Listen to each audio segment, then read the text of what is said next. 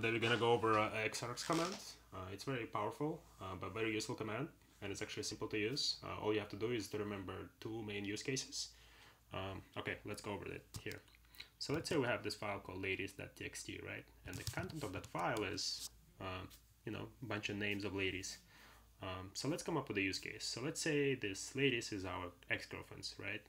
And we wanna create a directory for every ex-girlfriend and put uh, her pictures from Instagram into that directory.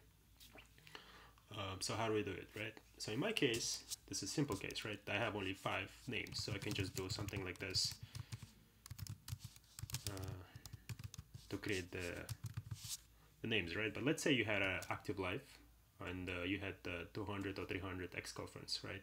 So then you cannot uh, create I mean, you can, but it's going to be really uh, time consuming for you to type all of that names. So what you can do, you can use, use Xargs for this. Um, so let's try it. So we can do cat ladies and pipe that to Xargs. Um, and let's just echo it first. Here we go. We get the line, right? All the all the lines we put in one line. So we can do, we can just say mkdir, right? And that would create the directories. Um, let's say that mkdir. The only reason we could do it because mkdir actually supports multiple positional arguments, right? But let's say mkdir did not support multi multiple positional positional arguments because in real life when you work right, there's a lot of times um, where you have a command line that does not uh, the command uh, the tool right that does not support uh, multiple position arguments. So you actually have to go line by line. Uh, let's try that as well, right? let's uh, remove our directories. Um,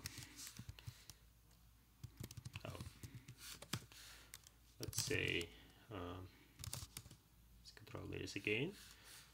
And to go line by line what we do is we can say xargs xargs and we pass this flag called dash n one basically saying go line by line by one line. And then we can uh, pipe to echo first. Here we go. We went line by line.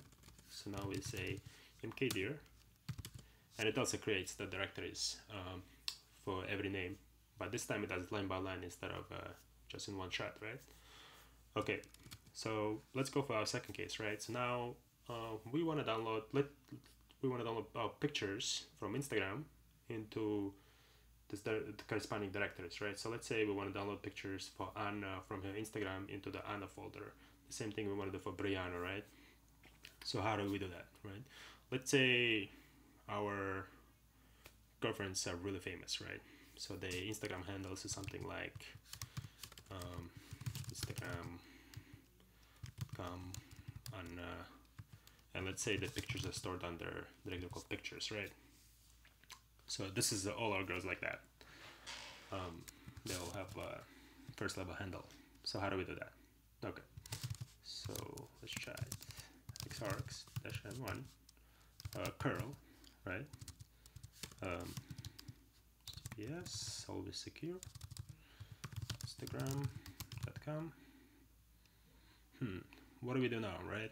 Because the xargs actually dash uh, and one what it does just places the the line here as a as a as a separate argument, right? So in this case, it actually wouldn't work for us. We need our name Anna here, and then pictures pictures, right? Uh, so what we do is the Xargs support this other notion of uh, specifying a parameter. So we can say something like this. Uh, what we're telling the Xargs say, hey, okay, put this, um, put the line into this parameter, and we will reuse it later on. So now we can replace our name with this parameter, basically referring to that line. And now we want to pipe it to uh, to the directory, right, to the corresponding directory. So we'll use the parameter again. And in that subdirectory, we want to uh, put this file called uh, pictures. Yeah, we want to download our pictures into this file called pictures. Okay, let's see if that works. Um, there you go. So you see it went line by line. Now let's go to Anna pictures boom I mean, since it's a fake API, it's not really that Instagram doesn't store uh, pictures like that. It will just, you see, output us the some HTML, right? But basically that's it. That's what you do. And this is two main things you want to use. Um, dash N1 and dash I. And that's it. This is the most of the cases covered here. Alright, subscribe for this video or press like. Thank you.